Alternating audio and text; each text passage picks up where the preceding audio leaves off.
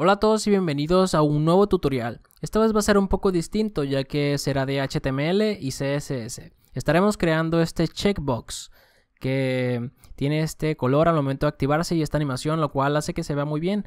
Eh, está mucho mejor que el que viene por defecto que es solamente un cuadrito y una palomita.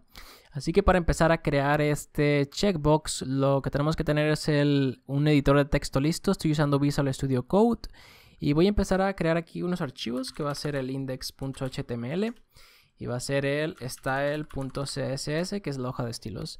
Voy a cerrar esta parte, no lo ocupo, e irme a HTML.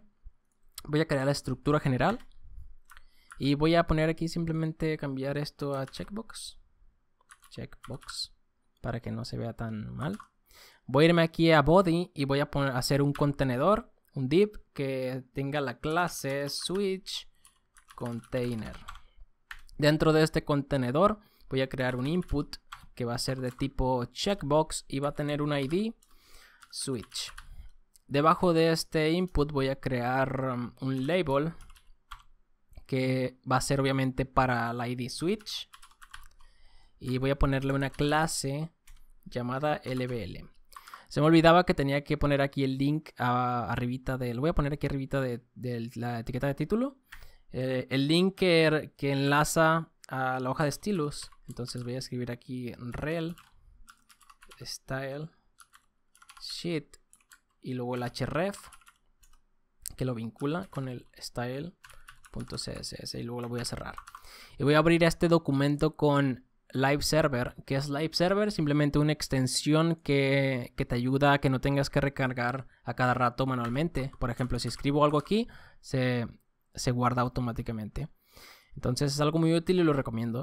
Voy a quitar esto y ahora sí voy a irme a nuestra hoja de estilos y voy a calar que todo funcione bien. Voy a, voy a ponérselo al body. Voy a ponerle un color de fondo para ver si todo está bien, color rojo. Y parece que todo está bien. Vamos a quitar esto. Y tenemos que seleccionar ahora a la label. La clase se llama label o LBL. Y vamos a ponerle un display inline block para que se apliquen los, los tamaños correctamente. Puede ponerle una anchura de 65 píxeles y una altura de unos 33 píxeles. Creo que estos fueron los que chequé y funcionaban bien. Después voy a ponerle un color, un color de fondo que va a ser de 97, 97, 97. Y como ven ya es cuadrado. Pero ahora tenemos que hacer esas esquinas redondas para que se mire mucho mejor. Así que ponemos la propiedad border radius que va a ser de 100 píxeles. Hay que exagerar para que se mire bien. Después voy a poner simplemente un cursor pointer para que cuando pase por encima se cambie a la, a la manita esta.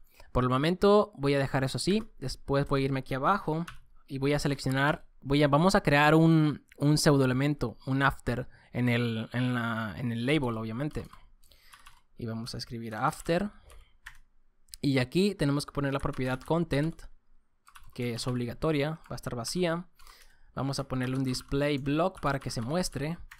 Después vamos a ponerle una anchura que va a ser de 25 píxeles y una altura también de 25 píxeles. Vamos a ponerle un color de fondo también que va a ser de este gris y también se ve cuadrado. Tendremos que poner también el border radius de, de 100 píxeles también. Y ya está redondo. Ahora vamos a ir aquí abajo, vamos a ponerle que sea una posición absoluta, no relativa. Absoluta. Y vamos a moverlo de arriba abajo con la propiedad top. De, vamos a ponerle 4 píxeles. Ah, pero como ven, se está moviendo no relativamente hacia la etiqueta hacia la etiqueta de label. Tendremos que poner aquí posición relativa para que se mueva en relación a, la etiqueta de label. Entonces ya está como debe ser. Le pondremos también un left de 4 píxeles para que se mueva hacia la para que se mueva hacia la derecha un poco. Entonces creo que por el momento está bien. Así lo vamos a dejar y vamos a continuar. Aquí abajo vamos a seleccionar el ID del checkbox que es switch y vamos a, checar que si está activado haga algo. Entonces lo hacemos así. Pondremos checked y vamos a seleccionar el elemento que, que sigue después de este. o sea, nuestro label. Si nos ponemos aquí en HTML, estamos diciendo que si esto está, eh, está mm, activado, que haga algo con esto. Entonces, vamos a elegir nuestra label, pero laughter. Entonces lo abrimos y aquí lo que vamos a hacer es que se mueva unos a la derecha unos 35 píxeles tal vez. Entonces, si vamos clic aquí, ven que se mueve hacia, hacia la derecha. Puede sonar confuso aquí, pero lo que está haciendo es que, es que está agarrando píxeles de la izquierda hacia la derecha. O sea que si, obviamente left significa izquierda, pero estoy diciendo que se va a mover a la derecha. Pero o sea como que está sumando de la derecha, de la izquierda hacia la derecha. Entonces, para que no se confundan. Listo. Eh, bueno, vamos a checar cómo quedó. Parece que hay más espacio de este lado que de este. Entonces vamos a agregarle un píxel más. Ahora sí lo activo. Creo que ya queda perfecto. Pero como ven, eh, no tiene transición, no tiene esa animación que lo hace que se mueva fluidamente. Para solucionar eso, simplemente lo que ponemos aquí es transición. Le vamos a poner punto dos segundos. Entonces ahora si volvemos aquí, ya tiene esa animación. Después lo que vamos a hacer es duplicar esta parte. Vamos a duplicarla. Y ahora vamos a, cambiar, si se activa el checkbox, lo que cambiaremos es la, es la etiqueta de label misma, no el after. Le pondremos un color de fondo aquí.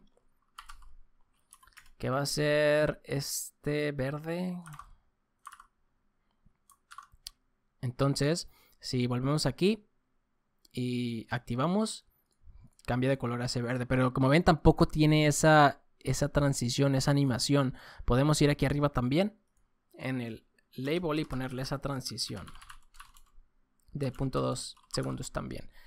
Entonces cuando ya activemos ya tiene esa animación y hace que se mire mucho mejor. Por último, tendremos que esconder este checkbox original. Obviamente no queremos que se muestre. Para eso estamos haciendo este nuevo. Entonces simplemente lo que haremos aquí es también seleccionar la, el ID switch y ponerle un display de none. Y eso hace que se esconda. Y listo. Eso es, todo lo que tenemos que hacer para crear este checkbox. Y así es como se ve en tamaño original. Creo que es un buen tamaño. No está ni muy grande ni muy pequeño. De hecho, sí está grande, se me hace. Pero es para propósitos demostrativos, así que no importa.